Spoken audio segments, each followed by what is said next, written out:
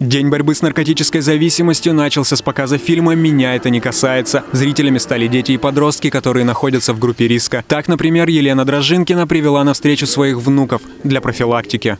Дети же, они очень наивные, и глу- их бывает, что у них опыта мало жизненного.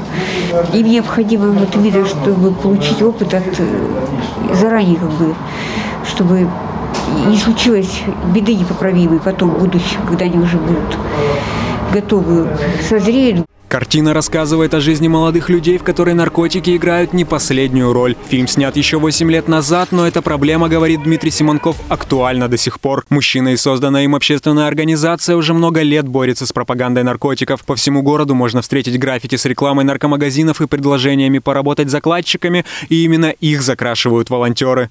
В основном это спайсы, соли, скорости, ну, это синтетика.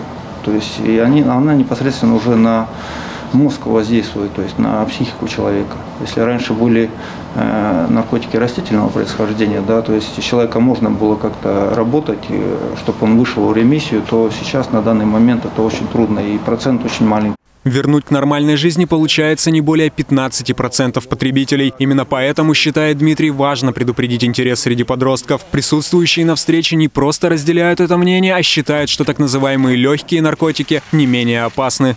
Ну, наверное, таких быть не должно, ведь даже если легкий наркотик, то человек может, ну, слабый, то есть по организму его это может легко взять, даже легкий. Программа профилактики употребления будет работать до 2025 года, а для тех подростков, кто уже попал под влияние наркотиков, созданы реабилитационные центры «Радуга» и «Хвойный», и они, к сожалению, не пустуют. Артем Гусельников, Дмитрий Денисов. День с толком.